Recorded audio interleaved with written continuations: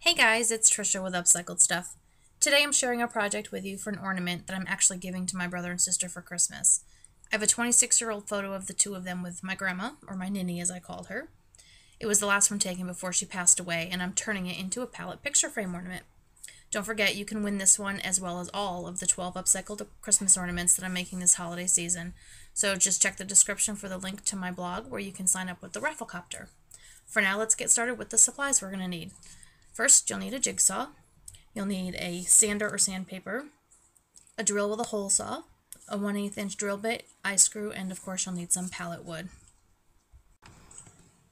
I'm going to cut out the photo now so that I can use it to estimate the size of the hole saw that I need, but you really don't have to cut a circle as the hole saw will leave you with that circular opening in your ornament, but I'm just trying to see exactly what I'm working with before I get started. So um, next I'm going to trace out the shape of my gift box, and the easiest way to do this is to draw two lines across your pallet wood. Mine are at 3 quarters of an inch and 3 inches. Then you'll draw two lines perpendicular to those, um, about a quarter of an inch in.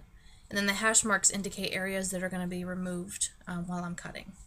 So once you have your template, um, you can go ahead and cut your hole. Just try to center that up. And use your hole saw to cut out your um, picture opening.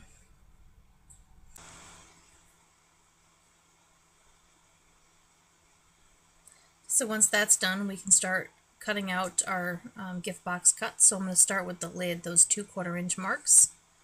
And then when that's done, we can flip our board around and we can make that one cut all the way across the bottom of the box at the three inch mark and just remove the bottom of the pallet.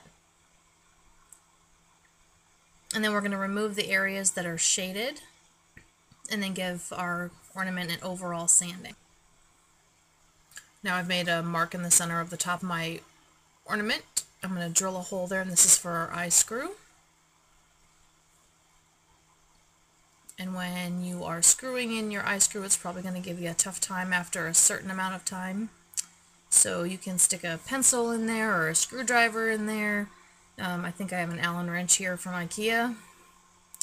And I just stick that in there and um, continue twisting until that's all the way in. And now I'm going to go back inside and we're going to get this thing decorated. I used glitter and a fancy wire-rimmed bow um, on mine, but of course you can decorate it however you want to. But for mine, here's what I used. I used two different colors of paint, just white and black. And then you'll need um, a few different types of paint brushes for painting on paint and glue. Um, decoupage, this is optional and I'll show you where I used it regular white glue with glitter, and of course you'll need your pallet ornament, the picture that you cut out, and a piece of felt backing. This is a sticky back felt, and it's the EcoFi stuff that's made out of plastic bottles. Your wire-rimmed ribbon, and just a small little piece of craft wire. And of course you'll need your hot glue. So first things first, we're going to do a double coat or three coats of paint on your piece. And then we're going to make a little line to separate the box from the lid. Add some white glue to that inner circle. Add some glitter to that. And then if you want to, you can add some decoupage on top of that to help seal in the glitter. Once that's finished, we just need to make a backing um, for a, a place to keep the picture attached to the frame. So I'm using this felt here, and I'm going to cut a piece that is almost covers the entire backside of the ornament. I don't want it to hang over, but I want it to have enough um, material there to keep the picture in place. And that looks pretty good. So you're going to take your picture and you're going to lay it on top of the circle so that the faces show through and then flip it over and make sure it's lined up the way you want it to be. And then lay it back down face down. And don't move your picture. Be real careful to leave it the way it is. Now you can see I have a little space up here at the top but that's not going to matter. You won't really be able to tell. Um, I really like the way the picture looks so I'm going to leave it. Just peel the backing off of your felt here. And then you're going to carefully place it on top of your picture. Be real careful not to move your photo. Just put down a couple places, tack it down with your fingers, and flip it over just to be sure that everyone's everyone isn't where they're supposed to be. And then you can press that down into place. And now you have a beautifully finished back side of the ornament and the picture shows through. And there she is. Now all we need to do is add a little bow.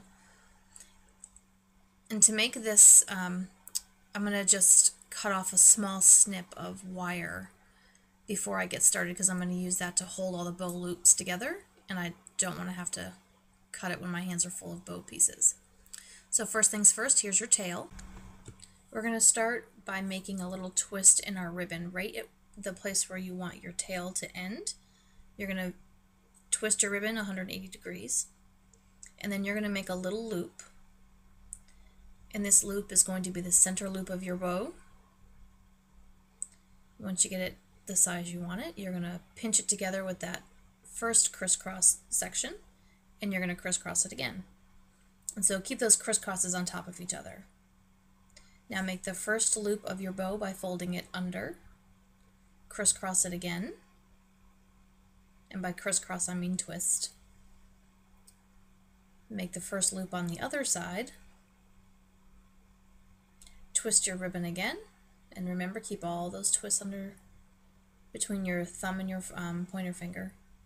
And then I'm going to make two more loops on each side in the same fashion I just did.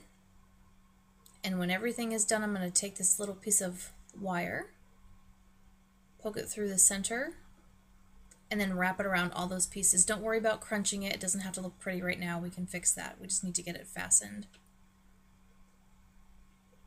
So go ahead and squish your wire together and then twist it. Just a couple of times and then you can use your scissors to snip off the edges.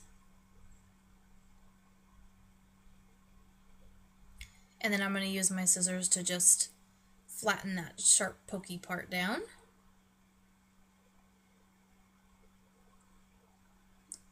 And now we can just floof our bow. Um, you can move all of those loops and tails and um, get everything looking the way you want it to look.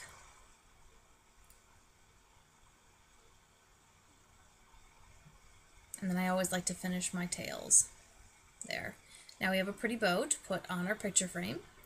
However, I'm going to use um, a fresh ornament because I'm told that um, by my 12 year old niece that this one that's going on my sister's tree has to have either a blue, silver, or white bow because that's the theme of their tree. So um, this ornament here is the one that the winner of the contest will win. So I'm going to glue this down with just a little bit of hot glue. Or a lot of hot glue. Whatever works. just plop that into place.